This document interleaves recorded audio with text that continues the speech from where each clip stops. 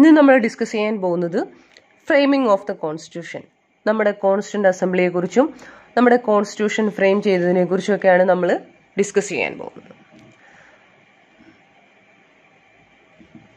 അപ്പോൾ നമ്മുടെ കോൺസ്റ്റിറ്റ്യൂഷൻ ഇന്ത്യയുടെ കോൺസ്റ്റിറ്റ്യൂഷൻ ഫ്രെയിം ചെയ്തതും അഡോപ്റ്റ് ചെയ്തതും ഒക്കെ ഇന്ത്യയുടെ കോൺസ്റ്റിറ്റ്യൂന്റ് അസംബ്ലിയാണ് ഈ കോൺസ്റ്റിറ്റ്യൂന്റ് അസംബ്ലി സെറ്റപ്പ് ചെയ്തത് ആയിരത്തി തൊള്ളായിരത്തി നാൽപ്പത്തി ആറ് നവംബറിൽ ക്യാബിനറ്റ് മിഷൻ പ്ലാൻ പ്രകാരമാണ്. ആയിരത്തി തൊള്ളായിരത്തി നാൽപ്പത്തി ആറിലെ ക്യാബിനറ്റ് മിഷൻ പ്രകാരമാണ് ആയിരത്തി തൊള്ളായിരത്തി നാൽപ്പത്തി ആറ് നവംബർ മാസത്തിൽ നമുക്കൊരു കോൺസ്റ്റന്റ് അസംബ്ലി ഫോം ചെയ്യുന്നത്. അപ്പോൾ അതിനു മുമ്പ് നമ്മൾ കുറച്ച് കാര്യങ്ങൾ അറിഞ്ഞിരിക്കണം. അതായത് ഈ കോൺസ്റ്റിറ്റ്യൂന്റ് അസംബ്ലി എന്നുള്ള idea the idea of constituent assembly was first propounded by M N Roy. വളരെ പ്രധാനപ്പെട്ട ഒരു ഒരു പോയിന്റാണ് കോൺസ്റ്റിറ്റ്യൂന്റ് അസംബ്ലി എന്നുള്ള ഐഡിയ പ്രൊപ്പോണ്ട് ചെയ്തത് എം എൻ റോയിയാണ് അതുപോലെ തന്നെ the demand for constituent assembly to draft the constitution of constitution of India was for the first time raised by the Congress in nineteen thirty five ഇതൊക്കെ ഫാക്റ്റായിട്ട് പഠിക്കാനുള്ളതല്ല. ഇത് നമ്മൾ ഓർത്തിരിക്കണം. ഓർത്തിരിക്കണം. ഈ സെന്റൻസസ് ഒക്കെ അതായത് ഈ ഫാക്റ്റ് ഒക്കെ നമ്മൾ ഓർത്തിരിക്കണം. അതായത് ഒരു ഡയറക്റ്റ് ക്വസ്റ്റ്യൻ ആയിട്ട് ആയിരിക്കത്തില്ല. മേ ബി ഇൻഡയറക്റ്റായിട്ടായിരിക്കും ക്വസ്റ്റ്യൻസ് വരിക.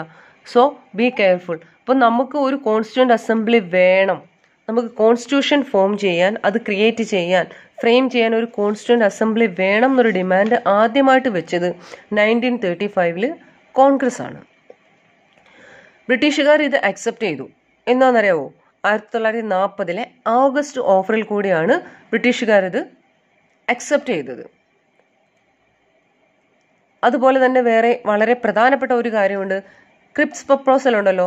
നമ്മുടെ നയന്റീൻ ഫോർട്ടി ടൂവിലെ Cripps പ്രപ്പോസലിൽ which called for framing of constitution അതായത് അത് വന്നതെന്ന് വെച്ചാൽ നമുക്ക് കോൺസ്റ്റിറ്റ്യൂഷൻ ഫ്രെയിം ചെയ്യാനായിട്ടാണ് അതിന്റെ മെയിൻ ലക്ഷ്യം Cripps പ്രപ്പോസലിന്റെ and and its adoption post world war second ഇവർ നമുക്ക് കോൺസ്റ്റിറ്റ്യൂഷൻ ഫ്രെയിം ചെയ്യുകയും അതിനെ അവർ അഡോപ്റ്റ് ചെയ്യുകയും ചെയ്യുക. എപ്പോഴാണെന്നറിയോ world war second world war കഴിഞ്ഞതിന് ശേഷം എന്നുള്ള ഈ ക്രിപ്സ് ക്രിപ്സ് മിഷന്റെ പ്രപ്പോസൽ മുസ്ലിം ലീഗ് റിജക്റ്റ് ചെയ്തിരുന്നു. അപ്പോൾ അത് ഒരു ഫാക്റ്റാണ് ഫാക്റ്റ് മീൻസ് സെന്റൻസ് ആയിട്ട് ചോദിക്കാം. ട്രൂ ഓർ ഫോൾസ് എന്നൊക്കെ പറഞ്ഞിട്ട് ചോദിക്കാവുന്ന ക്വസ്റ്റ്യൻ ആണ്. അപ്പം കോൺസ്റ്റന്റ് അസംബ്ലി വേണം എന്ന് പറഞ്ഞ ഒരു ഡിമാൻഡ് ഫസ്റ്റ് വെച്ചത് ഫസ്റ്റ് റേസ് ചെയ്തത് ഇന്ത്യൻ നാഷണൽ കോൺഗ്രസ് ആണ്. ആയിരത്തി തൊള്ളായിരത്തി നാൽപ്പതിലെ ഓഗസ്റ്റ് ഓഫറിൽ കൂടിയാണ് ബ്രിട്ടീഷ് ഗവൺമെന്റ് ഇത് അക്സെപ്റ്റ് ചെയ്തത്. അതുപോലെ തന്നെ ആയിരത്തി തൊള്ളായിരത്തി നാൽപ്പത്തിരണ്ടിലെ ക്രിപ്സ് പ്രപ്പോസലിൽ കൂടി. അതായത് നമുക്ക് കോൺസ്റ്റിറ്റ്യൂഷൻ ഫ്രെയിം ചെയ്യണം. എന്നിട്ട് അത് വേൾഡ് വാർ സെക്കൻഡിന് ശേഷം അഡോപ്റ്റ് ചെയ്യണം എന്നൊക്കെ പറഞ്ഞത് ബ്രിട്ടീഷ് ഗവൺമെന്റ് പറഞ്ഞത് മുസ്ലിം ലീഗ് റിജക്റ്റ് ചെയ്തിട്ടുണ്ട്. അപ്പം ഞാൻ നേരത്തെ പറഞ്ഞിരുന്നു ഐഡിയ ഓഫ് കോൺസ്റ്റിറ്റ്യൂന്റ് അസംബ്ലി എന്ന് പറഞ്ഞത് എം എൻ റോയിയുടെ വകയായിരുന്നു. അപ്പോൾ അങ്ങനെ കോൺസ്റ്റിറ്റ്യൂന്റ് അസംബ്ലി ഒക്കെ ഫോം ചെയ്തു. കോൺസ്റ്റിറ്റ്യൂന്റ് അസംബ്ലിയിൽ ടോട്ടൽ മുന്നൂറ്റി എൺപത്തൊമ്പത് മെമ്പേഴ്സ് ഉണ്ടായിരുന്നു. നമ്പേഴ്സ് തെറ്റിക്കരുത്. മുന്നൂറ്റി എൺപത്തി ഒമ്പത് മെമ്പേഴ്സ് ഉണ്ടായിരുന്നു കോൺസ്റ്റിറ്റ്യൂന്റ് അസംബ്ലിയിൽ ഓഫ് വിച്ച് അതിൽ ഇരുന്നൂറ്റി തൊണ്ണൂറ്റിയാറ് എണ്ണം elected by the members of the provincial assemblies provincial അസംബ്ലീസിൽ നിന്നും എലക്ട് ചെയ്തെടുത്ത ഇരുന്നൂറ്റി തൊണ്ണൂറ്റിയാറ് മെമ്പേഴ്സും the rest were nominated by the princely states ബാക്കിയുള്ള മെമ്പേഴ്സിനെ പ്രിൻസിലി സ്റ്റേറ്റ്സ് നോമിനേറ്റ് ചെയ്യപ്പെട്ടവരാണ്. അതായത് ടോട്ടൽ മുന്നൂറ്റി എൺപത്തി ഒമ്പത് മെമ്പേഴ്സ് അതിൽ ഇരുന്നൂറ്റി തൊണ്ണൂറ്റി ആറ് പേരെ പ്രൊവിൻഷ്യൽ അസംബ്ലീസിൽ നിന്ന് എലക്ട് ചെയ്തെടുത്തു. ബാക്കിയുള്ളവരെ പ്രിൻസിലി സ്റ്റേറ്റ്സ് നോമിനേറ്റ് ചെയ്തു. ഇനി ഈ മെമ്പേഴ്സിനെ എലക്ട് ചെയ്തത് ഒരു ഡയറക്റ്റ് എലക്ഷൻ പ്രകാരം ഒന്നും ആയിരുന്നില്ല. ഇവരെ എലക്ട് ചെയ്തത് ഇൻഡയറക്റ്റ് ആയിട്ടായിരുന്നു. പ്രൊവിൻഷ്യൽ അസംബ്ലി ഇവരെ ഇൻഡയറക്റ്റ് ആയിട്ടാണ് എലക്ട് ചെയ്തത്. അപ്പോൾ ആ എലക്ട് ചെയ്തതിനൊരു റേഷ്യോ ഉണ്ടായിരുന്നു one member per one million population one million population ഒരു മെമ്പർ എന്നുള്ള രീതിയിലാണ് ആ കോൺസ്റ്റിറ്റ്യൂന്റ് അസംബ്ലിയിലേക്ക് പ്രൊവിൻഷ്യൽ അസംബ്ലീസിൽ നിന്നും ആളുകളെ എലക്ട് ചെയ്തത്. മെമ്പേഴ്സിനെ എലക്ട് ചെയ്തത്. മറന്നു പോകരുത്. One member per one million population next ഈ മെമ്പേഴ്സ് ഓഫ് ദ പ്രിൻസിലി സ്റ്റേറ്റ്സിനെ നോമിനേറ്റ് ചെയ്തത് റെസ്പെക്റ്റീവ് ഹെഡ്സ് ആണ്. പ്രിൻസിലി സ്റ്റേറ്റ്സിന്റെ റെസ്പെക്റ്റീവ് ഹെഡ്സ് ഉണ്ടായിരുന്നു. അവരാണ് ഈ പ്രിൻസിലി സ്റ്റേറ്റ്സിൽ നിന്ന് കോൺസ്റ്റിറ്റ്യൂന്റ് അസംബ്ലിയിലുള്ള മെമ്പേഴ്സിനെ നോമിനേറ്റ് ചെയ്തത്. ഇനി നോക്കിയേ ഇനി വളരെ പ്രധാനപ്പെട്ട ഒരു കാര്യമാണ്. ഈ കോൺസ്റ്റിറ്റ്യൂന്റ് അസംബ്ലിയിലെ സീറ്റ്സ് അലോക്കേറ്റ് ചെയ്തിരുന്നത് ത്രീ കമ്മ്യൂണിറ്റീസിനാണ്. ഒന്ന് മുസ്ലിം രണ്ട് സിക്സ് ആൻഡ് തേർഡ് എന്ന് പറയുന്നത് ജനറൽ എന്നാണ്. Muslim Sikhs and general in proportion to their population. അവരുടെ പോപ്പുലേഷന്റെ പ്രൊപ്പോർഷൻ അനുസരിച്ച് മൂന്ന് കമ്മ്യൂണിറ്റിയിൽ നിന്നാണ് കമ്മ്യൂണിറ്റി നിന്നുള്ള ആളുകൾക്കാണ് സീറ്റ് അലോക്കേറ്റ് ചെയ്തിരുന്നത് മുസ്ലിംസ് സിഖ്സ് ആൻഡ് ജനറൽ. അത് മൂന്നും മറന്നു പോകാൻ മറന്നു പോകാൻ പാടില്ല. മുസ്ലിംസ് സിക്സ് ആൻഡ് ജനറൽ എന്നാണ് പറഞ്ഞിട്ടുള്ളത്. അത് നമ്മൾ മറന്നു പോകാൻ പാടില്ല. അതുപോലെ തന്നെ ഇനി നമ്മൾ പറയാൻ പോകുന്നത് its first meets meeting was held on ninth December nineteen forty six with Sachchidananda Sinha as its interim president നമ്മുടെ കോൺസ്റ്റിറ്റ്യൂന്റ് അസംബ്ലിയുടെ ഫസ്റ്റ് മീറ്റിംഗ് ഹെൽഡ് ചെയ്തത് നയൻത് ഡിസംബർ നയന്റീൻ ഫോർട്ടി സിക്സിലാണ് ആയിരത്തി തൊള്ളായിരത്തി നാൽപ്പത്തി ആറ് ഡിസംബർ ഒമ്പതിനാണ് കോൺസ്റ്റിറ്റ്യൂന്റ് അസംബ്ലിയുടെ ഫസ്റ്റ് മീറ്റിംഗ് അന്നത്തെ ഇന്ററിം പ്രസിഡന്റ് എന്ന് പറയുന്നത് സച്ചിദാനന്ദ സിൻഹയായിരുന്നു അങ്ങനെ അത് കഴിഞ്ഞിട്ട് ഡിസംബർ പതിനൊന്ന് ആയിരത്തി തൊള്ളായിരത്തി നാൽപ്പത്തി ആറ് ആയിരത്തി തൊള്ളായിരത്തി നാൽപ്പത്തി ആറ് ഡിസംബർ പതിനൊന്ന്. ഈ ഡേറ്റ് ഒന്നും മറന്നു പോകരുത്. അതാണ് വീണ്ടും വീണ്ടും എടുത്തു പറയുന്നത്. ഡിസംബർ പതിനൊന്ന് nineteen forty സിക്സിന് doctor Rajendra Prasad was elected as the president of the constituent assembly. അതായത് പെർമനന്റ് പ്രസിഡന്റ് ആയിട്ട് എലക്ട് ചെയ്യപ്പെടുന്നത് ഡോക്ടർ രാജേന്ദ്ര പ്രസാദിനെയാണ്. അത് ഡിസംബർ പതിനൊന്ന് ആയിരത്തി തൊള്ളായിരത്തി നാൽപ്പത്തി ആറിനാണ് doctor Sachchidananda Sinha interim president ആയിരുന്നു. അദ്ദേഹത്തെ നമ്മൾ എലക്ട് ചെയ്യുന്നത് അല്ലെങ്കിൽ അദ്ദേഹത്തെ നമ്മൾ പോസ്റ്റ് ചെയ്യുന്നത് നയൻത് ഡിസംബർ നയന്റീൻ ഫോർട്ടി സിക്സിലാണ് ഇനി ഇതിനകത്ത് പറയ പറയുന്ന വളരെ പ്രധാനപ്പെട്ട വേറൊരു കാര്യമുണ്ട്. നമ്മുടെ ഈ കോൺസ്റ്റിറ്റ്യൂന്റ് അസംബ്ലിക്ക് രണ്ട് വൈസ് പ്രസിഡന്റുമാരുണ്ടായിരുന്നു. വൈസ് പ്രസിഡന്റുമാരുടെ പേര് മറന്നു പോകരുത്. ഒന്ന് എച്ച് സി മുഖർജിയാണ്. ഹരേന്ദ്ര കുമാർ മുഖർജി. ഹീസ് ഫ്രം ബംഗാളാണ് ഹരേന്ദ്ര കുമാർ മുഖർജിയാണ്. രണ്ടാമതാൾ വി ടി കൃഷ്ണമാചാരിയാണ്. ടി ടി കൃഷ്ണമാചാരി അല്ല വി ടി കൃഷ്ണമാചാരിയാണ്. അപ്പം കോൺസ്റ്റിറ്റ്യൂൺ അസംബ്ലിയുടെ രണ്ട് വൈസ് പ്രസിഡന്റുമാരുണ്ടായിരുന്നു. ഒന്ന് എച്ച് സി മുഖർജിയും രണ്ടാമത്തെ ആൾ വി ടി കൃഷ്ണമാചാര്യയുമായിരുന്നു ഓക്കെ ഇനി ഇതിനകത്ത് വളരെ പ്രധാനപ്പെട്ട വേറൊരു കാര്യമുണ്ട്.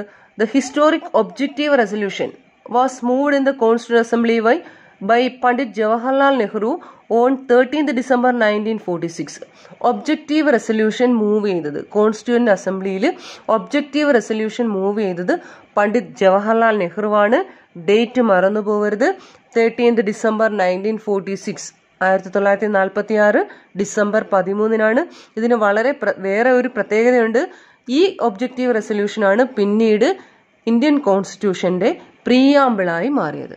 It formed the basis of preamble of present constitution ഈ ഹിസ്റ്റോറിക് ഒബ്ജക്റ്റീവ് റെസൊല്യൂഷൻ ആണ് ഓക്കെ അത് കഴിഞ്ഞിട്ട് നമുക്ക് പറയാനുള്ള വളരെ പ്രധാനപ്പെട്ട ഒരു ഫാക്ട് എന്ന് വെച്ചാൽ Shri B N Rao was appointed as the legal adviser of the constituent assembly constituent അസംബ്ലിയുടെ legal അഡ്വൈസറായിട്ട് അപ്പോയിന്റ് ചെയ്തത് ശ്രീ ബി എൻ റാവുവിനെയാണ്. ബി എൻ റാവുവിന്റെ പ്രത്യേകത എന്താണെന്ന് അറിയാവോ? He was the first Indian judge at international international court of justice international court of ജസ്റ്റിസിലെ first Indian judge എന്ന് പറയുന്നത് ഈ ബി എൻ റാവു ആണ് ഓക്കെ ഇനി വളരെ പ്രധാനപ്പെട്ട വേറൊരു ഫാക്റ്റാണ്.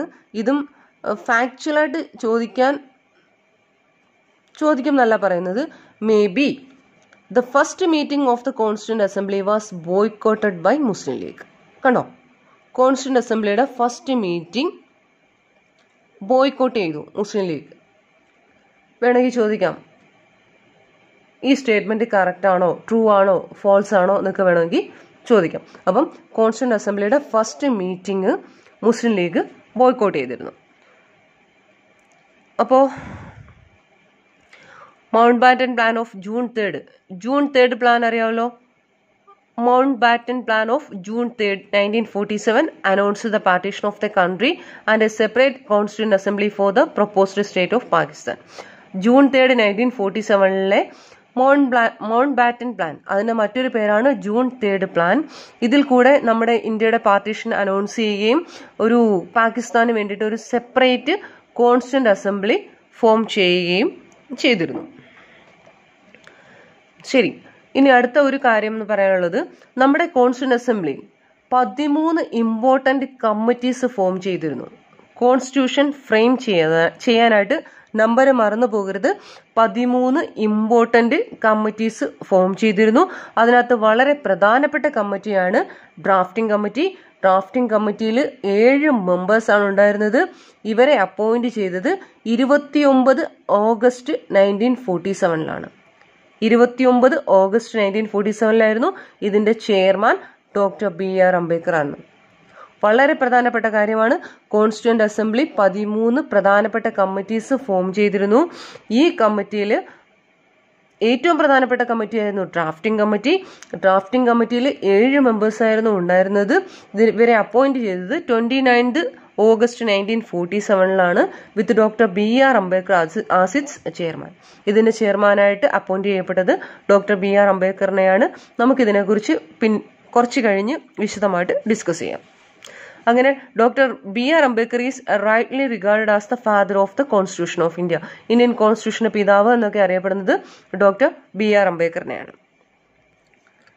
അങ്ങനെ twenty six November nineteen forty നയനിൽ ആയിരത്തി തൊള്ളായിരത്തി നാൽപ്പത്തി ഒമ്പത് നവംബർ ഇരുപത്തി ആറിന് the people of India through the constituent assembly adopted enacted and gave to themselves the constitution of India Indian constitution people of India ആണ്. ഇന്ത്യയിലെ ജനങ്ങളാണ് അഡോപ്റ്റ് ചെയ്തത് എനാക്ട് ചെയ്തത്. അവർക്ക് തന്നെ അവർ സമർപ്പിച്ചു കോൺസ്റ്റിറ്റ്യൂഷൻ ആ ഡേറ്റ് മറന്നു പോകരുത് twenty six November nineteen forty nine ആണ്. ഇനി ഈ കോൺസ്റ്റിറ്റ്യൂഷൻ ഫൈനലി സൈൻ ചെയ്തത്. Constitution of India was finally signed in by the members of the constituent assembly on twenty fourth January nineteen fifty which was the last session of the assembly ഈ constitution makers നമ്മുടെ makers of the constitution അല്ലെങ്കിൽ members of the constitution constituent assembly നമ്മുടെ കോൺസ്റ്റിറ്റ്യൂഷനെ last sign ചെയ്തത് twenty fourth January nineteen ഫിഫ്റ്റിയിലാണ് ആയിരത്തി തൊള്ളായിരത്തി അമ്പത് January nineteen January twenty ഫോർത്തിനാണ് ഇതായിരുന്നു ഈ കോൺസ്റ്റിറ്റ്യൂന്റ് അസംബ്ലിയുടെ ലാസ്റ്റ് സെഷൻ. അപ്പോൾ ആ ഡേറ്റും നമ്മൾ മറന്നു പോകരുത്. The constitution came into full operation with effect from twenty six January nineteen fifty അപ്പം constitution came into existence എന്ന് ചോദിച്ചാൽ അത് twenty six November nineteen forty nine ആണ്. Came into power came into force came into full operation with effect from twenty six January nineteen ഫിഫ്റ്റിയിലാണ് അപ്പം ഈ പീരീഡിൽ ഒരു period അതായത് fifteenth August nineteen forty seven തൊട്ട് twenty six November nineteen forty nine വരെ. Period മറന്നു പോകരുത്. പീരീഡ് നോട്ട്സിനകത്ത് നോട്ട്സിനകത്ത് വിശദമായിട്ട് പറഞ്ഞിട്ടുണ്ട്. Fifteenth August nineteen forty seven തൊട്ട് twenty six November nineteen forty nine വരെ നമ്മുടെ കോൺസ്റ്റിറ്റ്യൂവന്റ് അസംബ്ലി ഒരു ടെമ്പററി പാർലമെന്റായിട്ട് ആക്ട് ചെയ്തിരുന്നു. ടെമ്പററി പാർലമെന്റായിട്ട് ആക്ട് ചെയ്തിരുന്നു. അപ്പോൾ ഇനി പറയാൻ പോകുന്നത് വളരെ പ്രധാനപ്പെട്ട ഒരു ഫാക്റ്റാണ് വളരെ പ്രധാനപ്പെട്ട ഒരു പോയിന്റാണ് അതായത് നമ്മൾ പറഞ്ഞു നമ്മുടെ കോൺസ്റ്റിറ്റ്യൂന്റ് അസംബ്ലി ഒരു ടെമ്പററി പാർലമെന്റായിട്ട് ആക്ട് ചെയ്തിരുന്നു when it met as constituent assembly it was chaired by doctor Rajendra Prasad അതായത് കോൺസ്റ്റിറ്റ്യൂന്റ് അസംബ്ലി ആയിട്ട് തന്നെ ഇത് മെറ്റ് ചെയ്യുന്ന സമയത്ത് അതിന്റെ മീറ്റിംഗ് കൂടുന്ന സമയത്ത് അതായത് കോൺസ്റ്റിറ്റ്യൂന്റ് അസംബ്ലി എന്ന് പറഞ്ഞിട്ട് ഇത് മീറ്റ് ചെയ്യുന്ന സമയത്ത് ഇതിനെ ചെയർ ചെയ്തത് ഡോക്ടർ രാജേന്ദ്ര പ്രസാദാണ് പക്ഷേ when it met as legislative body ഇതൊരു ലെജിസ്ലേറ്റീവ് ലെജിസ്ലേറ്റീവ് ബോഡിയായിട്ട് മീറ്റ് ചെയ്യുന്ന സമയത്ത് ഇതിനെ ചെയർ ചെയ്തിരുന്നത് ഇതിന്റെ ചെയർമാനായിട്ടിരുന്നത് ജി വി മൗലങ്കറാണ്. മറന്നു പോകരുത് ആ ഫാക്റ്റ് ഇതിനെ ഇത് കോൺസ്റ്റിറ്റ്യൂന്റ് അസംബ്ലി ആയിട്ട് മെറ്റ് ചെയ്തിരുന്ന സമയത്ത് ഇതിന്റെ ചെയർമാൻ ഡോക്ടർ രാജേന്ദ്ര പ്രസാദ് ആണ്. ഇത് ലെജിസ്ലേറ്റീവ് ലെജിസ്ലേറ്റീവ് ബോഡിയായിട്ട് മീറ്റ് ചെയ്യുന്ന സമയത്ത് ഇതിനെ ചെയർ ചെയ്യുന്നത് ജി വി മൗലങ്കറാണ്. അപ്പോൾ അത്രയും കാര്യങ്ങൾ ഓർത്തിരിക്കണം. പിന്നെ വളരെ പ്രധാനപ്പെട്ട ഒരു കാര്യം എന്ന് വെച്ചാൽ കോൺസ്റ്റിറ്റ്യൂന്റ് അസംബ്ലി പതിനൊന്ന് സെഷൻസ് ആണ് ഹെൽഡ് ചെയ്തത്. നമ്മൾ നേരത്തെ പറഞ്ഞിരുന്നു പതിമൂന്ന് പ്രധാനപ്പെട്ട കമ്മിറ്റി ക്രിയേറ്റ് ചെയ്തിരുന്നു രൂപീകരിച്ചിരുന്നു എന്ന് പറഞ്ഞിരുന്നു. ഈ കോൺസ്റ്റന്റ് അസംബ്ലിക്ക് പതിനൊന്ന് സെഷൻസ് ആണ് ഉണ്ടായിരുന്നത്. അതുപോലെ തന്നെ ഇതിന് ഇതിന് റീഡിങ്സ് ഉണ്ടായിരുന്നു. ഇതിന് ത്രീ റീഡിങ്സ് ആണ് ഉണ്ടായിരുന്നത്. Number of readings held on the constituent assembly ഇത് ത്രീ റീഡിങ്സ് ആണ് ഉണ്ടായിരുന്നത്. അതുപോലെ തന്നെ കോൺസ്റ്റിറ്റ്യൂന്റ് അസംബ്ലി എടുത്ത സമയം നമ്മുടെ കോൺസ്റ്റിറ്റ്യൂഷൻ പൂർത്തീകരിക്കാൻ വേണ്ടിയിട്ട് കോൺസ്റ്റന്റ് അസംബ്ലി എടുത്ത സമയം എന്ന് വെച്ചാൽ two years eleven months and eighteen days to frame the constitution വളരെ പ്രധാനപ്പെട്ടതാണ്. ഒരുപാട് പരീക്ഷകളിൽ ചോദിച്ച് കണ്ടിട്ടുള്ളതാണ്. കോൺസ്റ്റിറ്റ്യൂന്റ് അസംബ്ലി നമ്മുടെ കോൺസ്റ്റിറ്റ്യൂഷൻ ഫ്രെയിം ചെയ്യാനെടുത്ത സമയം രണ്ട് വർഷം പതിനൊന്ന് മാസം പതിനെട്ട് ദിവസവുമാണ്. അതുപോലെ തന്നെ ഈ കോൺസ്റ്റിറ്റ്യൂഷൻ ഫ്രെയിം ചെയ്തെടുത്ത സമയത്ത് ഒറിജിനൽ കോൺസ്റ്റിറ്റ്യൂഷനിൽ അതായത് നമ്മൾ അമെൻമെന്റ്സും ആഡിഷൻസും ഒന്നും ചേർക്കാത്ത നമ്മുടെ ഒറിജിനൽ കോൺസ്റ്റിറ്റ്യൂഷനിലുള്ളത് ഇരുപത്തിരണ്ട് പാർട്സും മുന്നൂറ്റി തൊണ്ണൂറ്റി അഞ്ച് ആർട്ടിക്കിൾസും എട്ട് ഷെഡ്യൂളുമായിരുന്നു നമ്പേഴ്സ് മറന്നു പോകരുത്. ഇരുപത്തിരണ്ട് പാർട്സും മുന്നൂറ്റി തൊണ്ണൂറ്റി അഞ്ച് ആർട്ടിക്കിൾസും എട്ട് ഷെഡ്യൂളുകളുമായിരുന്നു നമ്മുടെ കോൺസ്റ്റിറ്റ്യൂഷൻ ഫ്രെയിം ചെയ്തെടുക്കുന്ന സമയത്ത് അതായത് ഒറിജിനൽ കോൺസ്റ്റിറ്റ്യൂഷനിൽ ഉണ്ടായിരുന്നത്. അപ്പോൾ ഒരു ക്വസ്റ്റ്യൻ വരും. പ്രസന്റ് കോൺസ്റ്റിറ്റ്യൂഷൻ നമ്മുടെ പ്രസന്റ് കോൺസ്റ്റിറ്റ്യൂഷനിലുള്ളത് നാനൂറ്റി എഴുപത് ആർട്ടിക്കിൾസ് ആണ്. നാനൂറ്റി എഴുപത് ആർട്ടിക്കിൾസും ഇരുപത്തി അഞ്ച് പാർട്സും പന്ത്രണ്ട് ഷെഡ്യൂളുകളാണ് മറന്നു പോകരുത്. നാനൂറ്റി എഴുപത് articles twenty five parts and twelve schedules അപ്പോൾ അത് കഴിഞ്ഞു. പിന്നെ വേറൊരു കാര്യം പ്രധാനപ്പെട്ട ഒരു കാര്യം പറയാൻ വിട്ടുപോയി. അതായത് ആഫ്റ്റർ പാർട്ടീഷൻ പാർട്ടീഷന് ശേഷം the membership of the constituent assembly for India was reduced to two ninety nine നല്ല ക്വസ്റ്റ്യൻ ആണ്. പാർട്ടീഷന് ശേഷം പാർട്ടീഷൻ കഴിഞ്ഞപ്പം പാകിസ്ഥാൻ പാർട്ടീഷൻ ചെയ്തു പോയി. Pakistan separate constituent assembly form ചെയ്തു. അപ്പം പാർട്ടീഷന് ശേഷം ഇന്ത്യയുടെ കോൺസ്റ്റിറ്റ്യൂന്റ് അസംബ്ലിയിൽ ഉള്ള മെമ്പർഷിപ്പ് ഇരുന്നൂറ്റി തൊണ്ണൂറ്റി ഒമ്പതായിട്ട് കുറഞ്ഞുപോയി അപ്പം പാർട്ടീഷന് ശേഷമുള്ള നമ്മുടെ കോൺസ്റ്റന്റ് അസംബ്ലിയിലെ മെമ്പർഷിപ്പ് ഇരുന്നൂറ്റി തൊണ്ണൂറ്റി ഒമ്പതാണ് അതുപോലെ തന്നെ വേറെ വളരെ പ്രധാനപ്പെട്ട ഒരു കാര്യമുണ്ട്. The Indian artist who decorated the hand written copy of the constitution. നമ്മുടെ കോൺസ്റ്റിറ്റ്യൂഷന്റെ ഹാൻഡ് റിട്ടൺ കോപ്പി ഡെക്കറേറ്റ് ചെയ്തത് നന്ദലാൽ ബോസ് ആണ് നന്ദലാൽ ബോസ്. നന്ദലാൽ ബോസ് ആണ് അപ്പോൾ ഇനി നമ്മൾ വേറൊരു കാര്യം പറയാനുണ്ട്. നമ്മുടെ ജാനുവരി ട്വന്റി സിക്സ് നമ്മൾ സെലക്ട് ചെയ്തു. Commencement of the constitution of India ആയിട്ട്. ഇന്ത്യയുടെ കോൺസ്റ്റിറ്റ്യൂഷന്റെ കമൻസ്മെന്റ് ആയിട്ട് ജാനുവരി ട്വന്റി സിക്സ് നമ്മൾ അഡോപ്റ്റ് ചെയ്തു. സെലക്ട് ചെയ്തു. അതിനൊരു കാരണമുണ്ട്. On this date in nineteen thirty ആയിരത്തി തൊള്ളായിരത്തി മുപ്പതിൽ ഈ ദിവസം Indian people observed independence day Indian people Indian ജനത ഇൻഡിപെൻഡൻസ് ഡേ ഒബ്സർവ് ചെയ്തിരുന്നു. ആയിരത്തി തൊള്ളായിരത്തി മുപ്പത് ജനുവരി ഇരുപത്തി ആറിന് അത് എന്ത് പ്രകാരമായിരുന്നു? Following the resolution of Purna Swaraj of the Congress session held in the midnight of December thirty one nineteen twenty nine at Lahore നമ്മുടെ പൂർണ സ്വരാജ് പ്രഖ്യാപിച്ചിരുന്നു. കോൺഗ്രസ് സെഷൻ ആയിരത്തി തൊള്ളായിരത്തി ഇരുപത്തി ഒമ്പത് ഡിസംബർ മുപ്പത്തൊന്നിന് ലാഹോർ സെഷനിൽ കൂടെ നമ്മൾ പൂർണ സ്വരാജ് ഇന്ത്യൻ നാഷണൽ കോൺഗ്രസ് പൂർണ സ്വരാജ് റെസൊല്യൂഷൻ പാസ്സാക്കിയിരുന്നു. അപ്പൊ അതിന്റെ ഓർമ്മയ്ക്കായിട്ടാണ് ജാനുവരി ട്വന്റി സിക്സ്ത് നമ്മൾ എന്താണ്? കമൻസ്മെന്റ് ഓഫ് ദ കോൺസ്റ്റിറ്റ്യൂഷൻ കോൺസ്റ്റിറ്റ്യൂഷന്റെ കമൻസ്മെന്റ് ആയിട്ട് നമ്മൾ സോറി ആയിരത്തി തൊള്ളായിരത്തി ഇരുപത്തി ഒമ്പത് ഡിസംബർ മുപ്പത്തൊന്നിലെ ലാഹോർ സെഷനിൽ കൂടെ നമ്മൾ എന്താണ്? പൂർണ സ്വരാജ് പൂർണ സ്വരാജ് റെസൊല്യൂഷൻ കൊണ്ടുവന്നു. അത് അത് പ്രകാരം ഇന്ത്യൻ പീപ്പിൾ ഇന്ത്യൻ ജനത ആയിരത്തി തൊള്ളായിരത്തി മുപ്പത് ജനുവരി ഇരുപത്തി ആറ് ഇൻഡിപെൻഡൻസ് ഡേ ആയിട്ട് ഒബ്സർവ് ചെയ്തു.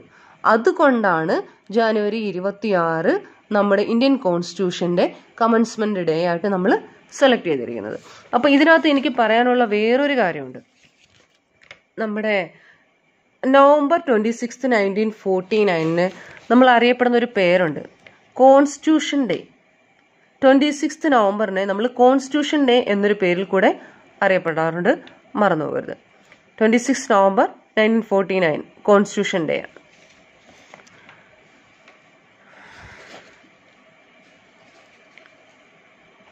ഇനി നമ്മൾ നേരെ പോകുന്നത് നമ്മുടെ ഡ്രാഫ്റ്റിംഗ് കമ്മിറ്റിയിലോട്ടാണ്. ഡ്രാഫ്റ്റിംഗ് കമ്മിറ്റി ഞാൻ നേരത്തെ പറഞ്ഞിരുന്നു. കോൺസ്റ്റന്റ് അസംബ്ലി പ്രധാനപ്പെട്ട പതിമൂന്ന് കമ്മിറ്റികൾ ഫോം ചെയ്തിരുന്നു.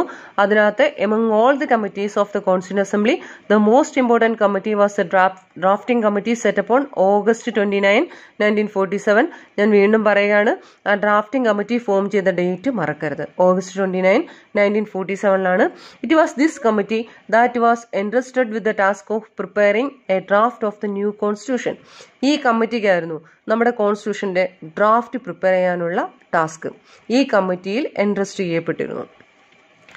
ഈ കമ്മിറ്റിയിൽ ഏഴ് മെമ്പേഴ്സ് ആണുള്ളത്.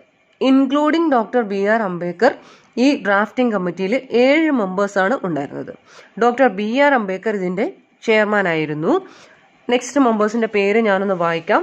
N Gopalaswamy Ayyangar Alladi Krishnaswamy Iyer doctor K M Munshi N Madhava Rao T T Krishnamachari. ഞാൻ നേരത്തെ വി ടി കൃഷ്ണമാചാരി പറഞ്ഞിരുന്നു. അദ്ദേഹമല്ല ഇത് ടി ടി കൃഷ്ണമാചാരിയാണ്. ഇനി ഈ ലാസ്റ്റ് പറഞ്ഞ രണ്ട് രണ്ട് പേരുണ്ടല്ലോ. എൻ മാധവറാവു. അപ്പോൾ ഒറിജിനൽ ഡ്രാഫ്റ്റിംഗ് കമ്മിറ്റിയിൽ ബി എൽ മിത്തർ എന്നുള്ള എന്നുള്ള മെമ്പറായിരുന്നു ഉണ്ടായിരുന്നത്. B L Mitter. അദ്ദേഹം റിസൈൻ ചെയ്യുകയാണ് ഉണ്ടായത്. ഡ്യൂ ടു ഇൽ ഹെൽത്ത് അദ്ദേഹത്തിന് സുഖമില്ലാത്തത് കാരണം അദ്ദേഹം ഈ ഡ്രാഫ്റ്റിംഗ് കമ്മിറ്റിയിൽ നിന്ന് റിസൈൻ ചെയ്തു. അപ്പം ബി എൽ മിത്തറിനെ റീപ്ലേസ് ചെയ്തുകൊണ്ടാണ് എൻ മാധവറാവു വരുന്നത്. പ്രതീക്ഷിക്കാം. ക്വസ്റ്റ്യൻ പ്രതീക്ഷിക്കാം. അതുപോലെ തന്നെയാണ് D P Khaitan D P Khaitan ആയിരത്തി തൊള്ളായിരത്തി നാൽപ്പത്തി എട്ടിലെ അദ്ദേഹം ഡ്രാഫ്റ്റിംഗ് കമ്മിറ്റി ഒറിജിനൽ ഡ്രാഫ്റ്റിംഗ് കമ്മിറ്റിയിലെ മെമ്പറായിരുന്നു അദ്ദേഹം ആയിരത്തി തൊള്ളായിരത്തി നാൽപ്പത്തി എട്ടിൽ മരണപ്പെട്ടു. അത് കാരണം അദ്ദേഹത്തെ റീപ്ലേസ് ചെയ്തുകൊണ്ടാണ് ടി ടി കൃഷ്ണമാചാരി വരുന്നത്. അപ്പം ഈ ഡ്രാഫ്റ്റിംഗ് കമ്മിറ്റിയിലെ സെവൻ മെമ്പേഴ്സിനെ ഒന്ന് പഠിച്ചു വെച്ചിരിക്കുക അതുപോലെ തന്നെ ഈ റീപ്ലേസ് ചെയ്ത മെമ്പേഴ്സിനെ ഓർത്തിരിക്കുക അതുപോലെ തന്നെ ഡ്രാഫ്റ്റിംഗ് കമ്മിറ്റിയെക്കുറിച്ച് വേണമെങ്കിൽ ഷോർട്ട് ക്വസ്റ്റ്യൻസ് വരാം. അത് നമ്മൾ മെയിൻസിന് വേണ്ടിയിട്ട് പ്രതീക്ഷിക്കാം. അതുപോലെ തന്നെ ഇനി നമ്മൾ പറയാൻ പോകുന്നത് provisions of constitutions and the sources ആണ്. നമ്മുടെ കോൺസ്റ്റിറ്റ്യൂഷൻ എന്റെ പ്രൊവിഷൻസ് നമ്മുടെ കോൺസ്റ്റിറ്റ്യൂഷന്റെ പ്രൊവിഷൻസ് ഒരുപാട് സോഴ്സസിൽ നിന്ന് ബോറോ ചെയ്തതാണ്. ഒരുപാട് രാജ്യങ്ങളെ നമ്മുടെ makers of the constitution at that time പഠിച്ചു. എല്ലാ existing constitution of the world വേൾഡിൽ അപ്പോൾ നിലവിലുള്ള എല്ലാ കോൺസ്റ്റിറ്റ്യൂഷനെയും അവർ നന്നായിട്ട് പഠിച്ചു. അതിൽ നിന്നും നല്ല ഭാഗങ്ങളൊക്കെ നമ്മൾ ബോറോ ചെയ്തിട്ടുള്ളതാണ്. അപ്പം ഒരുപാട് പ്രൊവിഷൻസ് നമ്മൾ പല പല കോൺസ്റ്റിറ്റ്യൂഷനുകളിൽ നിന്നും ബോറോ ചെയ്തിരുന്നു. അപ്പോൾ അതിൽ ആ ബോറോ ചെയ്യുന്നതിന് മുന്നേ എനിക്ക് പറയാനുള്ളത് നമ്മൾ നേരത്തെ പറഞ്ഞിരുന്നു government of India act nineteen thirty five നമ്മുടെ government of India act nineteen thirty five ആണ് the most profound influence exercise ചെയ്തത്. കോൺസ്റ്റുവൻ കോൺസ്റ്റുവന്റ് അസംബ്ലിയിൽ അതായത് കോൺസ്റ്റുവന്റ് അഡോപ്റ്റേഷൻ ഏറ്റവും കൂടുതലായിട്ടുള്ള ഏറ്റവും കൂടുതൽ ഇൻഫ്ലുവൻസ് ചെയ്തത് നമ്മുടെ government of India act nineteen thirty five ആണ്. അതിനകത്ത് നിന്ന് അഡോപ്റ്റ് ചെയ്ത കുറച്ച് കുറച്ച് കാര്യങ്ങൾ ഞാൻ പറയാം. Federal scheme federal scheme government of India act nineteen thirty ഫൈവിന്റെതാണ് അതുപോലെ തന്നെ office of the governor office of the governor എന്നുള്ളത് അതുപോലെ തന്നെ power of federal judiciary power of federal judiciary emergency powers ഇങ്ങനെ കുറേ കാര്യങ്ങൾ വളരെ പ്രധാനപ്പെട്ട കാര്യങ്ങളാണ്. ഇങ്ങനെ വളരെ കുറച്ച് കാര്യങ്ങൾ വളരെ പ്രധാനപ്പെട്ട കുറച്ച് കാര്യങ്ങൾ നയന്റീൻ തേർട്ടി ഫൈവിലെ ഗവൺമെന്റ് ഓഫ് ഇന്ത്യ ആക്ടിൽ നിന്നാണ് നമ്മുടെ കോൺസ്റ്റിറ്റ്യൂഷൻ കോൺസ്റ്റിറ്റ്യൂഷൻ മേക്കേഴ്സ് അഡോപ്റ്റ് ചെയ്തിട്ടുള്ളത് ബോറോ ചെയ്തിട്ടുള്ളത്. അപ്പം government of India act nineteen thirty ഫൈവിലെ കാര്യങ്ങൾ കഴിഞ്ഞു. ഇതൊക്കെ ഞാൻ വളരെ വ്യക്തമായിട്ട് എന്റെ നോട്ട്സിൽ പി ഡി എഫിൽ പറഞ്ഞിട്ടുണ്ട്. അടുത്ത് നമ്മൾ പോകുന്നത് യു എസ് എയിലോട്ടാണ്. യു എസ് എയുടെ കോൺസ്റ്റിറ്റ്യൂഷനിൽ നിന്ന് അഡോപ്റ്റ് ചെയ്ത ഒരുപാട് കാര്യങ്ങളുണ്ട്. ഇതും വളരെ വ്യക്തമായിട്ട് ഈ കാര്യങ്ങളൊക്കെ ഈ ഫോളോയിങ് കാര്യങ്ങളൊക്കെ ഞാൻ നോട്ട്സിനകത്ത് വളരെ വ്യക്തമായിട്ട് പറഞ്ഞിട്ടുണ്ട്. നിങ്ങൾക്ക് വളരെ ഉപകാരപ്രദമായിരിക്കും. യു എസ് എയിൽ നിന്നും അഡോപ്റ്റ് ചെയ്തത് independence of judiciary judicial review president as the executive head president of India as the supreme commander of the armed forces the vice president of India as the ex official chairman of the council of states fundamental rights preamble removal of supreme court and high court judges etcetera ഇങ്ങനെ കുറേ കാര്യങ്ങളാണ് U S എയുടെ കോൺസ്റ്റിറ്റ്യൂഷനിൽ നിന്നും bore ചെയ്തത്. Next നമ്മൾ പോകുന്നത് U കെയുടെ കോൺസ്റ്റിറ്റ്യൂഷനിലോട്ടാണ് U കെയുടെ കോൺസ്റ്റിറ്റ്യൂഷനിൽ നമ്മൾ അഡോപ്റ്റ് ചെയ്തത് law making procedures rule of law system of single citizenship parliamentary system with ministerial responsibility ഇങ്ങനെ കുറേ കാര്യങ്ങൾ നമ്മൾ യു കെയുടെ കോൺസ്റ്റിറ്റ്യൂഷനിൽ നിന്നും അഡോപ്റ്റ് ചെയ്തിട്ടുണ്ട്. അതുപോലെ തന്നെ അടുത്ത നമ്മൾ പോകുന്നത് കാനഡയുടെ കോൺസ്റ്റിറ്റ്യൂഷനിലോട്ടാണ് കനേഡിയൻ കോൺസ്റ്റിറ്റ്യൂഷനിൽ നമ്മൾ ബൊറോ ചെയ്തത്. Federation with a strong centre ഒരുപാട് പരീക്ഷയ്ക്ക് ചോദിച്ചിട്ടുണ്ട്. Federation with a strong centre അതുപോലെ തന്നെ distribution of powers between the union and the states and placing residuary powers with the centre നമ്മൾ ഇമ്പോർട്ടൻസ് കൊടുക്കാത്ത ഭാഗത്തു നിന്നായിരിക്കും ക്വസ്റ്റ്യൻസ് വരുന്നത്. നമ്മൾ എപ്പോഴും പഠിച്ചു വയ്ക്കുന്നത് പ്രധാനപ്പെട്ട കാര്യങ്ങളായിരിക്കും. പക്ഷേ ഇപ്പോഴെനിക്ക് തോന്നുന്നത് ഒരു ഗ്രേ റീജിയൻസ് ഉണ്ട്. ഷാഡോ റീജിയൻ ഗ്രേ റീജിയൻസ് ആ പ്രദേശത്തു നിന്നാണ് പ്രധാനമായിട്ടും ക്വസ്റ്റ്യൻ ക്വസ്റ്റ്യൻസ് വരുന്നത്. അപ്പോൾ കനേഡിയൻ കോൺസ്റ്റിറ്റ്യൂഷനിൽ നിന്നാണ് federation with a strong centre എന്നുള്ള ഒരു ഐഡിയ എടുത്തിട്ടുള്ളത്. അതുപോലെ distribution of powers between the union and the states and replacing residuary powers the centre. അത് കനേഡിയൻ കോൺസ്റ്റിറ്റ്യൂഷനിൽ നിന്നാണ് അടുത്തത് Irish cons Irish constitution. Irish cons കോൺസ്റ്റിറ്റ്യൂഷനിൽ നമ്മൾ അഡോപ്റ്റ് ചെയ്തത് D P S P directive principles of state policy അത് അതുപോലെ തന്നെ method of election of the president nomination of members of the Rajya Sabha by the president of India ഇതൊക്കെ വളരെ പ്രധാനപ്പെട്ട കാര്യമാണ്. ഇതൊക്കെ വളരെ പ്രധാനപ്പെട്ട കാര്യങ്ങളാണ്. അതുപോലെ തന്നെ അടുത്തത് Weimar constitution of Germany Weimar constitution of Germany എന്നാണ് നമ്മൾ emergency and its effect on fundamental rights ഈ പ്രൊവിഷൻസ് നമ്മൾ അഡോപ്റ്റ് ചെയ്തിരിക്കുന്നത് ജർമ്മനിയുടെ കോൺസ്റ്റിറ്റ്യൂഷനിൽ നിന്നാണ്. അതുപോലെ തന്നെ ഓസ്ട്രേലിയയിൽ നിന്ന് നമ്മൾ എടുത്തിട്ടുള്ളത് കൺകറന്റ് ലിസ്റ്റ് ഓസ്ട്രേലിയൻ കോൺസ്റ്റിറ്റ്യൂഷനിൽ നിന്നാണ്. Provision regarding trade commerce and intercourse ഇതൊക്കെ നമ്മൾ ഓസ്ട്രേലിയയുടെ കോൺസ്റ്റിറ്റ്യൂഷനിൽ നിന്ന് ബോറോ ചെയ്തതാണ്. അതുപോലെ തന്നെ സൗത്ത് ആഫ്രിക്കയുടെ കോൺസ്റ്റിറ്റ്യൂഷനിൽ നിന്നാണ് നമ്മൾ കോൺസ്റ്റിറ്റ്യൂഷണൽ അമെൻമെന്റ്സ് നമ്മൾ അഡോപ്റ്റ് ചെയ്തിരിക്കുന്നത്. സൗത്ത് ആഫ്രിക്കയുടെ കോൺസ്റ്റിറ്റ്യൂഷനിൽ നിന്നാണ് ചോദിച്ചിട്ടുണ്ട്. റിപ്പബ്ലിക് എന്നുള്ള ഐഡിയ നമ്മൾ എടുത്തിരിക്കുന്നത്. ഫ്രഞ്ചിന്റെ കോൺസ്റ്റിറ്റ്യൂഷനിൽ നിന്നാണ് അതുപോലെ തന്നെ യു എസ് എസ് ആറിൽ നിന്നാണ് നമ്മൾ ഫണ്ടമെന്റൽ ഡ്യൂട്ടീസ് ബോറോ ചെയ്തിരിക്കുന്നത് അപ്പം ഇത്രയും കാര്യങ്ങളാണ് നമുക്ക് എന്താണ് provisions of constitution and their സോഴ്സസിൽ പറയാനുള്ളത്. അപ്പോൾ ഇത്രയും കാര്യങ്ങൾ പറഞ്ഞു കഴിഞ്ഞു. അതുപോലെ തന്നെ നമ്മൾ ഇനി പറയാൻ പോകുന്നത് ഒരു കാര്യമുണ്ട്. ഇന്ററിംഗ് ഗവൺമെന്റ് ഓഫ് ഇന്ത്യ ഉണ്ടായിരുന്നു. Nineteen forty six to forty seven അതായത് ഞാൻ ആ ഡേറ്റ് വ്യക്തമായിട്ട് ഡേറ്റും കാര്യങ്ങളൊക്കെ വ്യക്തമായിട്ട് നോട്ട്സിൽ പറഞ്ഞിട്ടുണ്ട്. ഇന്ത്യൻ ഗവൺമെന്റ് ആണ് ആ nineteen forty six to nineteen forty സെവനിലുള്ള നമ്മുടെ ഇന്ത്യൻ ഗവൺമെന്റിന്റെ സമയത്ത്. ആ സമയത്ത് നമ്മൾ അതായത് ഈ ഇന്ത്യൻ ഗവൺമെന്റ് സ്റ്റാർട്ട് ചെയ്യുന്ന സമയത്തുള്ള ഗവർണർ ജനറൽ എന്ന് വെച്ചാൽ ലോർഡ് വേവലാണ് മറന്നു പോകരുത് അതായത് ഈ provisional government second September nineteen forty സിക്സിൽ സ്റ്റാർട്ട് ചെയ്തു. സെക്കൻഡ് സെപ്റ്റംബർ നയന്റീൻ ഫോർട്ടി സിക്സിൽ സ്റ്റാർട്ട് ചെയ്തു. ഇത് ലാസ്റ്റ് ചെയ്തത് അതായത് ഇത് എൻഡ് ചെയ്തത് ഓഗസ്റ്റ് ഫിഫ്റ്റീൻത് നയന്റീൻ ഫോർട്ടി സെവനിലാണ് സെക്കൻഡ് സെപ്റ്റംബർ നയന്റീൻ ഫോർട്ടി സിക്സിൽ സ്റ്റാർട്ട് ചെയ്തു. August fifteenth nineteen forty seven വരെയാണ് നമ്മുടെ ഇന്ത്യൻ ഗവൺമെന്റ് ഇന്ത്യൻ ഗവൺമെന്റ് ഉണ്ടായിരുന്നത്. അപ്പം ഈ ഇന്ത്യൻ ഗവൺമെന്റ് സ്റ്റാർട്ട് ചെയ്യുന്ന സമയത്ത് അല്ലെങ്കിൽ ഈ പ്രൊവിഷണൽ ഗവൺമെന്റ് സ്റ്റാർട്ട് ചെയ്യുന്ന സമയത്ത് ഗവർണർ ജനറൽ ഓഫ് ഇന്ത്യ എന്ന് വെച്ചാൽ ലോർഡ് വേവലായിരുന്നു ലോർഡ് വേവലായിരുന്നു അതുപോലെ തന്നെ ഈ ഇന്ത്യൻ ഗവൺമെന്റിന്റെ കാലാവധി അവസാനിക്കുന്ന സമയത്ത് നമ്മുടെ ഗവർണർ ജനറൽ എന്ന് വെച്ചാൽ ലോർഡ് മൗണ്ട് ബാറ്റൺ ആണ്. ലോർഡ് മൗണ്ട് ബാറ്റൺ ആ രണ്ട് വൈസ്രോയ്സിനെ നമ്മൾ മറന്നുപോകരുത് അതുപോലെ തന്നെ നമുക്ക് സെക്രട്ടറി ഓഫ് സ്റ്റേറ്റ് ഉണ്ടായിരുന്നു. സെക്രട്ടറി ഓഫ് സ്റ്റേറ്റ് ഉണ്ടായിരുന്നു. നേരത്തെ ഉണ്ടായ പോസ്റ്റാണ് ആയിരത്തി എണ്ണൂറ്റി അമ്പത്തെട്ടിൽ ഉണ്ടായ പോസ്റ്റാണ് അപ്പം ഈ ഇന്ത്യൻ ഗവൺമെന്റിന്റെ ഫോർമേഷന്റെ സമയത്ത് സെക്രട്ടറി ഓഫ് സ്റ്റേറ്റ് എന്ന് പറയുന്നത് ലോർഡ് പെത്വിക് ലോറൻസ് ആണ്. പെത്വിക് ലോറൻസ് ആണ്. അതുപോലെ തന്നെ ഇന്ത്യൻ ഗവൺമെന്റ് എൻഡ് ചെയ്യുന്ന സമയത്തുള്ള നമ്മുടെ സെക്രട്ടറി ഓഫ് സ്റ്റേറ്റ് എന്ന് പറയുന്നത് Earl of Listowel Earl of Listowel എന്ന് പറയുന്ന ഒരു വൈസ്രോയ ഒരു മെമ്പറായിരുന്നു അപ്പോൾ ഇതാണ് അതിനകത്ത് പ്രധാനപ്പെട്ട കാര്യം. ഇനി കുറച്ച് കാര്യങ്ങൾ പറയാനുള്ളതെന്ന് വെച്ചാൽ ഇവർ പോർട്ട്ഫോളിയോസ് ഹോൾഡ് ചെയ്തിരുന്നു. അതായത് ഈ ഇന്ത്യൻ ഗവൺമെന്റിൽ ഇന്ത്യൻ മിനിസ്ട്രിയിൽ നമ്മുടെ പോർട്ട്ഫോളിയോസ് ഹാൻഡിൽ ചെയ്തിരുന്നത് ആരൊക്കെയായിരുന്നു എന്നുള്ളൊരു ക്വസ്റ്റ്യൻ ആണ്. അതിനകത്ത് ഒരുപാട് ക്വസ്റ്റ്യൻസ് പലതവണ ചോദിച്ചിട്ടുള്ളതാണ്. പലതവണ ചോദിച്ചിട്ടുള്ളതാണ്. അതിനകത്ത് ആ ഇന്ത്യൻ ഗവൺമെന്റിലെ പ്രൈം മിനിസ്റ്റർ ആയിട്ടുള്ളത് പണ്ഡിറ്റ് ജവഹർലാൽ നെഹ്റു തന്നെയായിരുന്നു.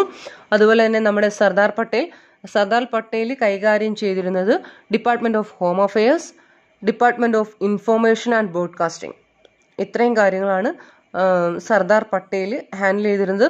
ഓർക്കണം നമ്മുടെ ആഫ്റ്റർ ഇൻഡിപെൻഡൻസിലെ ഫസ്റ്റ് മിനിസ്ട്രിയിലെ കാര്യങ്ങളല്ല ഈ പറയുന്നത്. ഇത് ഇന്ററിം മിനിസ്ട്രി ഇന്ററിം ഗവൺമെന്റ് അതായത് പ്രൊവിഷണൽ ഗവൺമെന്റ് അത് നമ്മുടെ ഇലക്ഷനൊക്കെ തുടങ്ങുന്നതിന് മുന്നേ ഉള്ള ഇന്ററിം ഗവൺമെന്റ് അതായത് ഇൻഡിപെൻഡൻസ് ആക്ട് വരുന്നതിന് മുമ്പുള്ള പ്രൊവിഷണൽ ഗവൺമെന്റിലെ പോർട്ട്ഫോളിയോസ് കൈകാര്യം ചെയ്തിരുന്ന ആളുകളുടെ കാര്യമാണ് ഈ പറയുന്നത്. അതുപോലെ പട്ടേൽ പട്ടേലിന്റെ കാര്യം പറഞ്ഞു. അടുത്തത് ബൽദേവ് സിംഗ് ആണ്. അന്ന് ഡിപ്പാർട്ട്മെന്റ് ഓഫ് ഡിഫൻസ് ആയിരുന്നു ബൽദേവ് സിംഗ് കൈകാര്യം ചെയ്തിരുന്നത്. അതുപോലെ അടുത്തത് സി രാജഗോപാലാചാരി. സി രാജഗോപാലാചാരി കൈകാര്യം ചെയ്തത് department of education and arts ആയിരുന്നു. Department of education and arts ആയിരുന്നു. ഇനി ഈ സി രാജഗോപാലാചാര്യയുടെ ഫുൾ നെയിം എന്ന് വെച്ചാൽ ചക്രവർത്തി രാജഗോപാലാചാരി എന്നാണ്. C രാജഗോപാലാചാര്യയുടെ C stands for Chakravarti Rajagopalachari എന്നാണ്.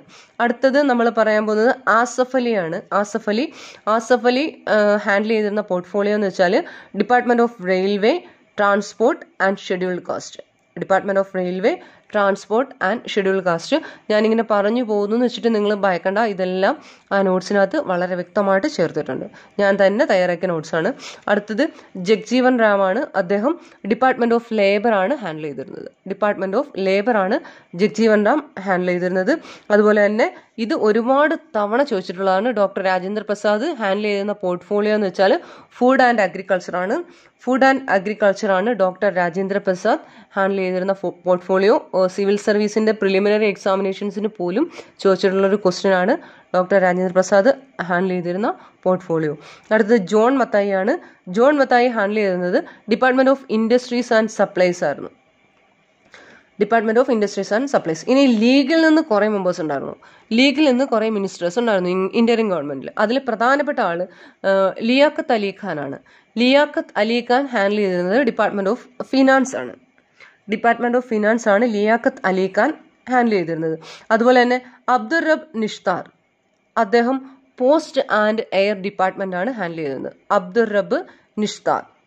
അതുപോലെ തന്നെ ഇബ്രാഹിം ഇസ്മായിൽ ചുന്ദ്രിഗർ അദ്ദേഹം കൊമേഴ്സ് ഡിപ്പാർട്ട്മെന്റ് ആണ് ഹാൻഡിൽ ചെയ്തിരുന്നത്. ഇബ്രാഹിം ഇസ്മായിൽ ചുന്ദ്രിഗർ അടുത്ത ലീഗ് ഒരു ഷെഡ്യൂൾഡ് കാസ്റ്റ് ഹിന്ദു പൊളിറ്റീഷ്യനെ നോമിനേറ്റ് ചെയ്തിരുന്നു. അതായത് ജോഗേന്ദ്രനാഥ് മണ്ട ജോഗേന്ദ്രനാഥ് മണ്ട എന്നുള്ള ഒരു ഷെഡ്യൂൾഡ് കാസ്റ്റ് ഹിന്ദു പൊളിറ്റീഷ്യനെ ലീഗ് നോമിനേറ്റ് ചെയ്തിരുന്നു. ആരായിട്ടാണെന്നറിയാവോ? To handle department of law അത് വളരെ ഒരു റയർ പീസ് ഓഫ് ക്വസ്റ്റ്യൻ ആണ്.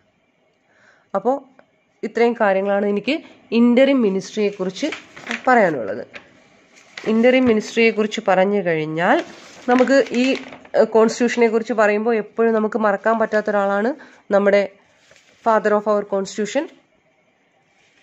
Father of our constitution എന്ന് പറയുന്നത് ഡോക്ടർ ബി ആർ അംബേദ്കർ ആണ് അപ്പം ഡോക്ടർ ബി ആർ അംബേദ്കറിനെ കുറിച്ച് കുറച്ച് കാര്യങ്ങളാണ് ജസ്റ്റ് ഒന്ന് പറഞ്ഞു പോവുകയാണ് നോട്ട്സിൽ ചേർത്തിട്ടുണ്ട്. അപ്പോൾ അദ്ദേഹത്തെ അറിയപ്പെടുന്നത് ഫാദർ ഓഫ് ഇന്ത്യൻ കോൺസ്റ്റിറ്റ്യൂഷൻ എന്നാണ് ഡോക്ടർ ബി ആർ അംബേദ്കർ. അതുപോലെ തന്നെ chairman of the drafting committee drafting കമ്മിറ്റിയുടെ ചെയർമാനായിരുന്നു first law minister of India ഇന്ത്യയിലെ ഫസ്റ്റ് ലോ മിനിസ്റ്റർ ആയിരുന്നു he participated in all the three round round table conferences in London ലണ്ടനിലെ മൂന്ന് round table കോൺഫറൻസസും participate ചെയ്ത ഇന്ത്യക്കാരൻ doctor P R Ambedkar ആണ് അതുപോലെ തന്നെ ഇദ്ദേഹം ജനിച്ചത് ഫോർട്ടീൻത് ഏപ്രിൽ എയ്റ്റീൻ നയന്റി വണ്ണിലെ മോ ഡിസ്ട്രിക്ട് ഇൻ മധ്യപ്രദേശാണ്. മധ്യപ്രദേശിലെ മൂലാണ് ഇദ്ദേഹം ഫോർട്ടീൻത് ഏപ്രിൽ എയ്റ്റീൻ നയന്റി വണ്ണിൽ ജനിച്ചത്. അതുപോലെ തന്നെ ഇദ്ദേഹം മരിച്ചത് സിക്സ്ത് ഡിസംബർ നയന്റീൻ ഫിഫ്റ്റി സിക്സിലാണ് ആയിരത്തി തൊള്ളായിരത്തി അമ്പത്തി ആറ് ഡിസംബർ സിക്സ്റ്റിനാണ് ഇദ്ദേഹം മരണപ്പെട്ടത്. ഇദ്ദേഹത്തിന്റെ റെസ്റ്റിംഗ് പ്ലേസ് ചൈത്രഭൂമി എന്നാണ് അറിയപ്പെടുന്നത്. അതെല്ലാവർക്കും അറിയാവുന്ന കാര്യമാണ്. ഇദ്ദേഹത്തിന്റെ ജീവിതത്തിന്റെ അവസാന ഘട്ടങ്ങളിൽ ഇദ്ദേഹം ബുദ്ധമതത്തിലോട്ട് ബുദ്ധമതത്തിന്റെ ഇൻഫ്ലുവൻസ് ഒക്കെ ഇദ്ദേഹത്തിന് ഉണ്ടായിട്ടുണ്ട്. അതുപോലെ തന്നെ ഇദ്ദേഹത്തിന് ഭാരത് രത്ന പോസ്റ്റ് മസ്ലിം മരണാനന്തരമായിട്ട് ഭാരതരത്ന കിട്ടിയിട്ടുണ്ട്. ആയിരത്തി തൊള്ളായിരത്തി തൊണ്ണൂറിലാണ് ഇത് അവാർഡ് ചെയ്തത് അപ്പൊ ഇത്രയും കാര്യങ്ങളാണ് ഇദ്ദേഹത്തെ കുറിച്ച് പറയാനുള്ളത്. പിന്നെ ഇദ്ദേഹം ഫൗണ്ട് ചെയ്ത കുറെ ഓർഗനൈസേഷൻ ഉണ്ട്. Organization organizations founded by Ambedkar ആണ്. അപ്പൊ ഈ ഓർഗനൈസേഷൻ പറ്റുമെങ്കിൽ ആ ഇയർ ഒന്ന് അറേഞ്ച് ചെയ്ത് പഠിച്ചോണം.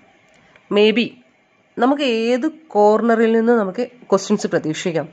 സോ ആ ഇയേഴ്സ് ഒന്ന് ഓർഡറിലാക്കി ഒന്ന് പഠിച്ചോണം. ആയിരത്തി തൊള്ളായിരത്തി ഇരുപത്തി ഏഴിൽ ഇദ്ദേഹം സമാജ് സമതാ സംഘം എന്ന് പറഞ്ഞൊരു സംഘടന രൂപീകരിച്ചു. സമാജ് സമതാ സംഘം എന്നുള്ളൊരു സംഘടന രൂപീകരിച്ചു. അതുപോലെ തന്നെ ആയിരത്തി തൊള്ളായിരത്തി ഇരുപത്തി ഒമ്പതിൽ ഡിപ്രസ്ഡ് ക്ലാസസ് ഇൻസ്റ്റിറ്റ്യൂട്ട് അതായത് ബഹിഷ്കൃത ഹിതകാരണി സഭ. ആയിരത്തി തൊള്ളായിരത്തി ഇരുപത്തി ഒമ്പതിലാണ് ഇദ്ദേഹം സ്ഥാപിച്ചത്. ഇത് ഒരുപാട് തവണ ചോദിച്ചിട്ടുള്ള ക്വസ്റ്റ്യൻ ആണ്. അതുപോലെ തന്നെ ആയിരത്തി തൊള്ളായിരത്തി മുപ്പത്തി ആറിൽ ഇദ്ദേഹം ഇൻഡിപെൻഡന്റ് ലേബർ പാർട്ടി സ്ഥാപിച്ചു. ആയിരത്തി തൊള്ളായിരത്തി മുപ്പത്തി ആറിൽ ഇൻഡിപെൻഡന്റ് ലേബർ പാർട്ടി സ്ഥാപിച്ചു. അതുപോലെ തന്നെ all India scheduled caste federation ആയിരത്തി തൊള്ളായിരത്തി നാൽപ്പത്തി രണ്ടിലും ഇദ്ദേഹം സ്ഥാപിച്ചു. ഈ പ്രധാനപ്പെട്ട നാല് സംഘടനകളെ കുറിച്ചാണ് പറയാനുള്ളത്. അതുപോലെ തന്നെ നമ്മുടെ ഡോക്ടർ ബി ആർ അംബേദ്കർ കുറച്ച് ന്യൂസ് പേപ്പേഴ്സ് തുടങ്ങിയിരുന്നു. ഈ ന്യൂസ് പേപ്പേഴ്സ് എന്ന് വെച്ചാൽ ആയിരത്തി തൊള്ളായിരത്തി ഇരുപതിൽ മൂക്ക് നായക്. ജബാർ പട്ടേൽ ഒരു സിനിമ ഡോക്ടർ ബി ആർ അംബേദ്കറിന്റെ പേരിൽ ഡയറക്റ്റ് ചെയ്തിട്ടുണ്ട്. അപ്പം അപ്പം മൂഗ് ആ സിനിമയിലെ ഈ മൂഗ് നായക് എന്നുള്ള ന്യൂസ് പേപ്പറിനെ കുറിച്ചൊക്കെ വ്യക്തമായിട്ട് പറയുന്നുണ്ട്. അപ്പം ആയിരത്തി തൊള്ളായിരത്തി ഇരുപതിൽ മൂഗ് നായക് എന്നുള്ള ന്യൂസ് പേപ്പർ സ്റ്റാർട്ട് ചെയ്തു. അതുപോലെ തന്നെ ആയിരത്തി തൊള്ളായിരത്തി ഇരുപത്തി ഏഴിൽ ബഹിഷ്കൃത ഭാരത് എന്നുള്ള ന്യൂസ് പേപ്പർ അദ്ദേഹം സ്റ്റാർട്ട് ചെയ്തു. അതുപോലെ തന്നെ ആയിരത്തി തൊള്ളായിരത്തി മുപ്പതിൽ ജനത അതുപോലെ തന്നെ ആയിരത്തി തൊള്ളായിരത്തി അമ്പത്തി ആറിൽ പ്രബുദ്ധ ഭാരത് അപ്പോൾ പ്രധാനപ്പെട്ട news പേപ്പേഴ്സാണ് doctor B R Ambedkar found ചെയ്ത ന്യൂസ് പേപ്പേഴ്സാണ് അടുത്തത് ഇദ്ദേഹത്തിന്റെ പ്രധാനപ്പെട്ട വർക്ക്സ്. കുറച്ച് ബുക്കുകളൊക്കെ ഡോക്ടർ ബി ആർ അംബേദ്കർ എഴുതിയിട്ടുണ്ട്. ജസ്റ്റ് ഒന്ന് വായിച്ചു വെച്ചിരിക്കുക. ഏത് കോണറിൽ നിന്നാണ് നേരത്തെ പറഞ്ഞതുപോലെ എവിടെ നിന്നാണ് ക്വസ്റ്റ്യൻസ് വരുന്നതെന്ന് നമുക്കറിയത്തില്ല. അപ്പോൾ ജസ്റ്റ് അത് മൂന്നാലെണ്ണം ഞാനിങ്ങനെ നോട്ടിൽ കാണിച്ചിട്ടുണ്ട്. The Buddha and his Dhamma അതുപോലെ തന്നെ the annihilation of caste the untouchables who who were they and why they became untouchables who were the Shudras അപ്പം ഇത്രയും കാര്യങ്ങളാണ് നമ്മൾ ഡോക്ടർ ബി ആർ അംബേദ്കറിനെ കുറിച്ച് പറയാൻ പറഞ്ഞ് പറയുന്നത്. അപ്പോൾ ഇത്രയും കാര്യങ്ങളാണ് നമുക്ക് കോൺസ്റ്റിറ്റ്യൂന്റ് അസംബ്ലി എന്നുള്ള ഒരു പോർഷനിൽ നിന്നും ഡിസ്കസ് ചെയ്യാനുള്ളത്. അത്യാവശ്യം എല്ലാ കാര്യങ്ങളും ഞാൻ പറഞ്ഞെന്ന് വിശ്വസിക്കുന്നുണ്ട്. നിങ്ങൾക്ക് ഇനിയും എവിടുന്നെങ്കിലും ഇൻഫർമേഷൻസ് കിട്ടുന്നുണ്ടെങ്കിൽ അത് ഗ്യാദർ ചെയ്ത് വെച്ച് പഠിക്കുക. അപ്പം നന്നായിട്ട് പ്രാക്ടീസ് ചെയ്യുക. അപ്പോൾ നമ്മുടെ എല്ലാ കോൺസ്റ്റിറ്റ്യൂഷൻ മേക്കേഴ്സിനും കോൺസ്റ്റിറ്റ്യൂഷൻ കോൺസ്റ്റിറ്റ്യൂഷൻ അസംബ്ലിയിലെ എല്ലാ മെമ്പേഴ്സിനും ഒരു ബിഗ് സല്യൂട്ട് പറഞ്ഞുകൊണ്ട് ഈ സെഷൻ ഇവിടെ അവസാനിപ്പിക്കുകയാണ്. All the best thank